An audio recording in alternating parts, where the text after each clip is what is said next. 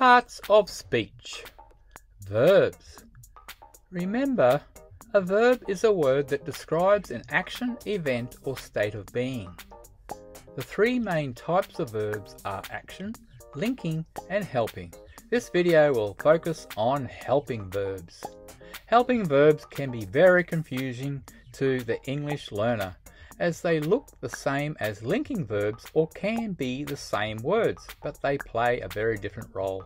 The most important thing to remember with helping verbs is that they are helping a verb.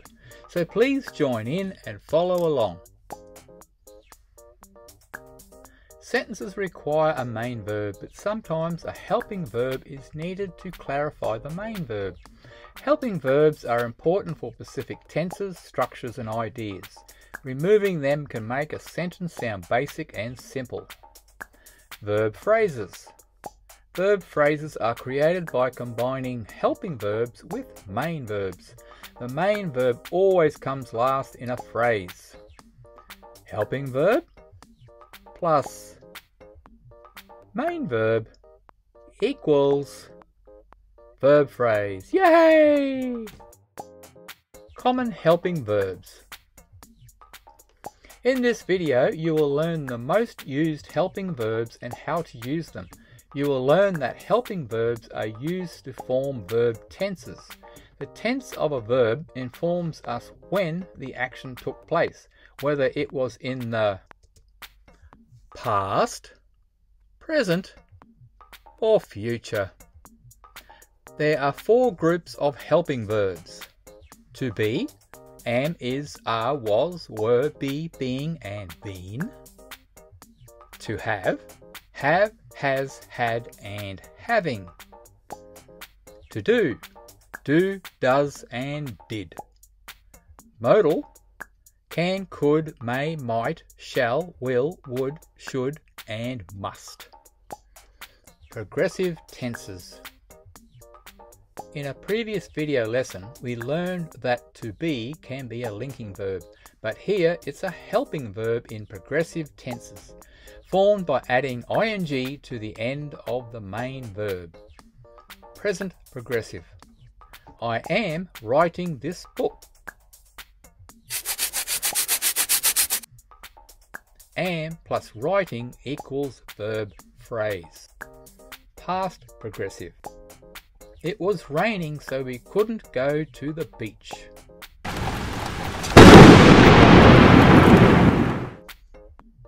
Was plus raining equals verb phrase. Passive voice. The verb to be can be used in passive voice, which joins the forms of to be with verbs ending in ed or en. Make sure all your chores are completed by Friday. Ah! Ah plus completed equals verb phrase. That book was written by me. Was plus written equals verb phrase. Perfect tense. The verb to have is used with verbs ending in ed and en to form perfect tenses which are not perfect but are named as such. Two examples are rained and stolen. Present perfect. It has rained for many days now and everything is turning mouldy. Ew! Has plus rained equals verb phrase. Past perfect. We didn't believe the thief had stolen her money until he was gone. Yippee! Woo! Yeah! Had plus stolen equals verb phrase. Questions. To do serves several vital functions unlike to be and to have, which are used as part of verb tenses. One of its functions is to form questions where the noun or pronoun splits the phrase. Do you know where you are going? Hmm. Do plus know equals verb phrase. You, a pronoun, splits the verb phrase. Negative statements. To do also helps to form not statements, that is, negative statements. Here, the word not will also split the verb phrase. I do not know where she is. Have you seen her? Do plus know is a verb phrase. Not is an adverb. The word not, being an adverb, splits the verb phrase. Some clues. Remember not is an adverb and is not part of the verb phrase. Didn't and doesn't are contractions of did not and does not. Emphasis. You can use to do as an emphatic verb to clarify or intensify the main verb.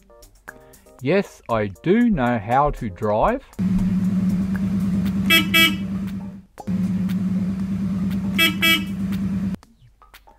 There may have been confusion about whether you know how to drive.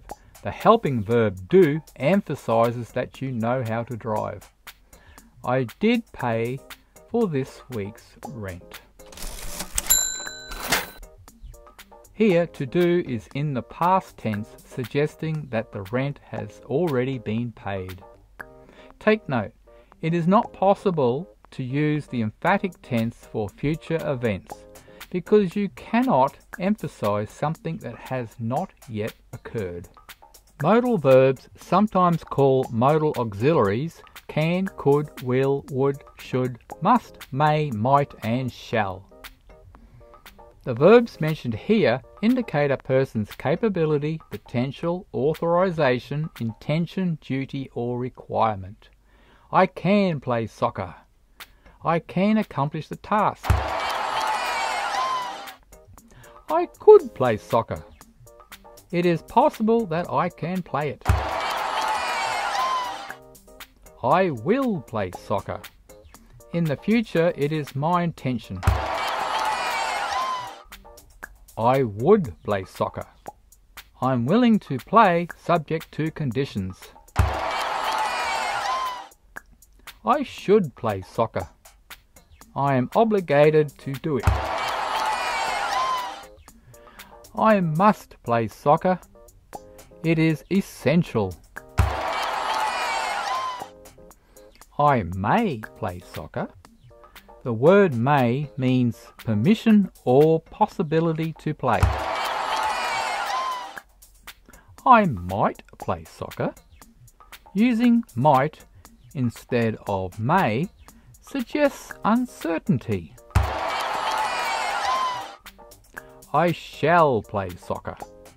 Shall is more commonly used in the UK instead of will for the first person to express future actions. Are you having some difficulty with verb phrases? Okay, here's a clue. Rearranging words into a declarative sentence helps you to find the verb phrase. Change the sentence around like this. Are you coming to my graduation? To, you are coming to my graduation. Now you should be able to see the verb phrase.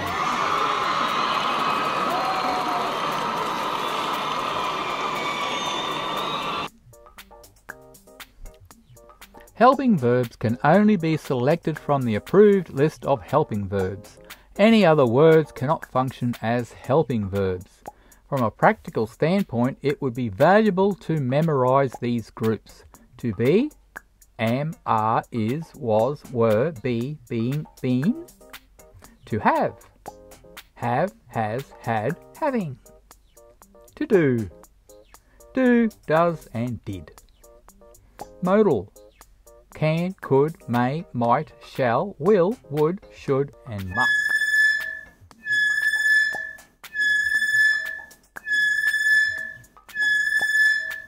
Well, have you memorized them yet? Game on! Let's test your knowledge with a game. Floaters. In this game, you will have 5 seconds to identify the whole verb phrase in each sentence, which includes the main verb. Do you think you are ready for such a skill?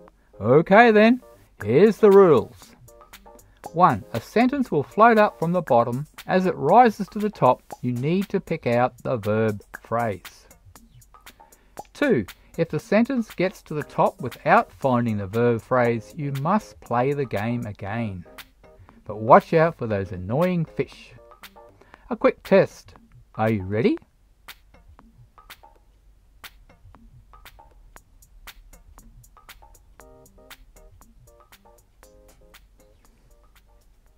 Round 1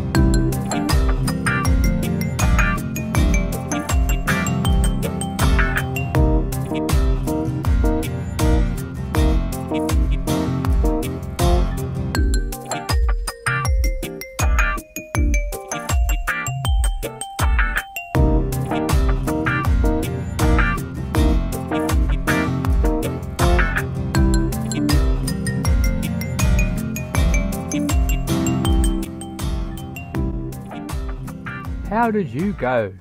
Thank you for coming along. For further lessons, advice, help, tips, and a free newsletter, visit www.mykindofenglish.com. Hello. Is this my kind of English? Yes? Aha. That's right. I really would like to start taking lessons with you.